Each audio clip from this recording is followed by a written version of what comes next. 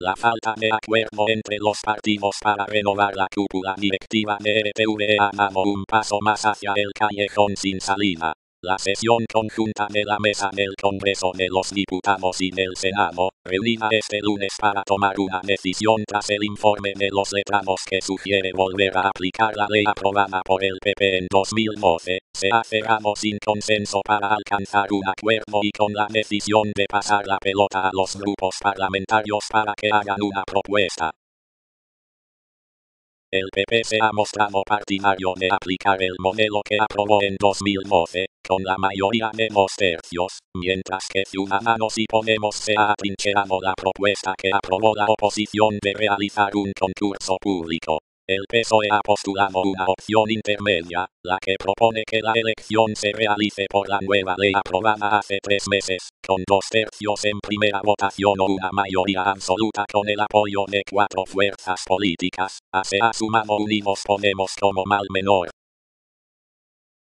tras la reunión, Unidos Podemos, a través de Noelia Vera, ha presentado la alternativa que consiste en elegir el Consejo por la Ley de 2017 y crear una subcomisión para desarrollar el concurso. Ciudadanos solo se ha sumado a la segunda parte. Su representante, Guillermo Díaz, ha asegurado que en los tres meses de plazo marcado por la nueva ley para poner en marcha el concurso, Ciudadanos llegó a presentar dos propuestas para hacer una normativa para el concurso público y ponemos una. Sin embargo, ha mantenido, ni PP ni PSOE respondieron en ningún momento ni tampoco aportaron ninguna. Su actitud ha sido de bloqueo permanente.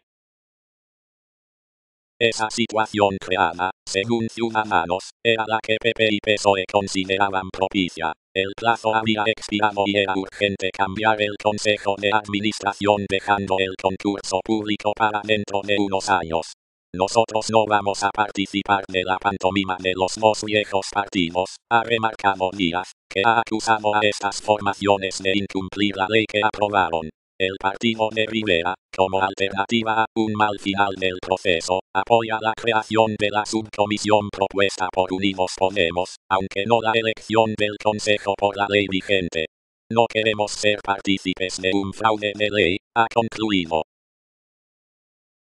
Sin embargo, el PSOE ha lamentado muy profundamente que por las maniobras del PP y Ciudadanos se haya podido cumplir el mandato legal de la renovación del Consejo de Administración. Margarita Robles ha responsabilizado a ambos partidos de la situación de bloqueo de la ley que impulsó en su día el PSOE. Según Robles, la ley establecía un concurso público y, si en el plazo de 31 de diciembre no se había aprobado, poder actuar y proceder a la renovación con arreglo a lo que proponía la propia ley. El PP propone volver a la legislación anterior con el pretexto de no aplicar la ley vigente y que continúa el actual Consejo de Administración, que se está caracterizando por la absoluta manipulación informativa, ha subrayado Robles ciudadanos, sacando a relucir permanentemente el concurso fuera de plazo, está amparando la posición del PP y hacer que no se pueda proceder a la renovación que por sanidad democrática es urgente, ha señalado.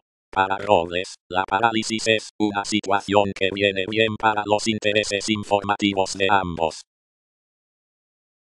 La presidenta de la Cámara Baja, Ana Pastor, que se reunirá este jueves con los portavoces de los grupos parlamentarios, les pedirá un esfuerzo para lograr un acuerdo, al considerar que una ley que se ha originado en el consenso no puede cerrarse con un disenso. La propuesta que alcancen los grupos volverá a la mesa conjunta. La compleja redacción de la ley aprobada el pasado septiembre da lugar a diferentes interpretaciones sobre el procedimiento a seguir para la elección del presidente de RTV en caso de que no se ponga en marcha el concurso público. Los letrados de la Cámara Baja consideran que el régimen vigente es de la ley anterior, aprobada en 2012, cuando el PP gozaba de una cómoda mayoría absoluta en el Congreso pero esta norma fue declarada parcialmente inconstitucional el pasado diciembre, un elemento que contribuye a enmarañar aún más ya de por sí intrincada interpretación de la ley.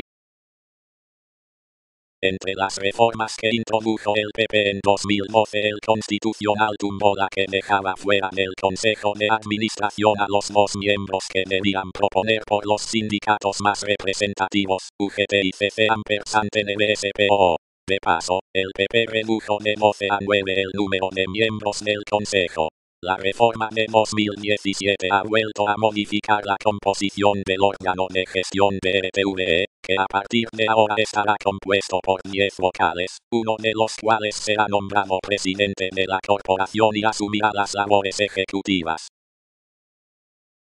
El informe jurídico solicitado por el Congreso aconsejaba designar a la cúpula directiva de RTVE conforme a la ley modificada por el PP, mediante Real Decreto, en 2012 en el SP, según la cual ampersante en el SP, en el caso de que el presidente de la radio y la televisión pública no obtuviera el respaldo de dos tercios de los diputados, en una segunda votación sería suficiente la mayoría absoluta.